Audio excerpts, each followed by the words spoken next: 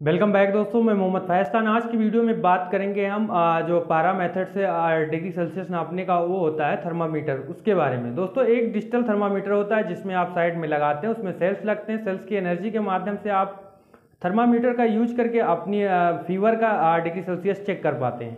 और एक जो पारा होता है, वो नॉर्मल तरीके से पारा मेथड से उसमें आप थर्मामीटर होता है, उसके उससे आप पारा के मेथड से डिग्री सेल्सियस चेक कर पाएँगे।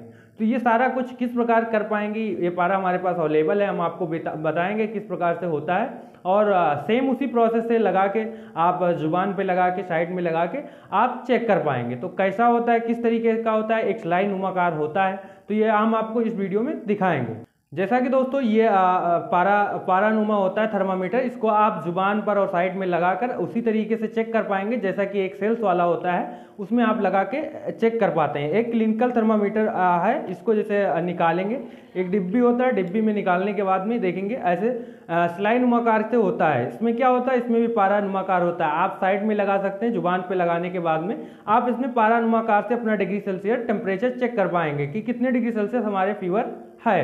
तो सेम ये उसी तरीके से है दोस्तों। बसरते इसमें कोई सी प्रकार का सेल नहीं लगता है। इसमें आप पारा मेथड से जान पाएँगे कितने डिग्री सेल्सियस आपके पास आपको फीवर है या किसी और को है तो आप इसके माध्यम से चेक कर पाएँगे। इसमें किसी प्रकार की एनर्जी की आवश्यकता नहीं है, ना इसमें किसी प्रकार का सेल लगता है, न चार्जिंग होता है। दोस्तों, हमें उम्मीद है आप पारा के माध्यम से समझ गए होंगे कि किस प्रकार से फीवर को चेक कर सकते हैं। ये सिलाई हर तरीके से आप मतलब ज़ुबान पे भी साइड में भी लगा के चेक कर पाएँगे। दोस्तों, हमें उम्मीद है ये वीडियो आपको पसंद आई होगी। वीडियो पसंद आई है तो वीडियो को लाइक करें, अपने फ्रेंड के साथ शेयर करें। चैनल को अभी सब्सक्राइब नहीं किया सब्सक्राइब करें। Thank you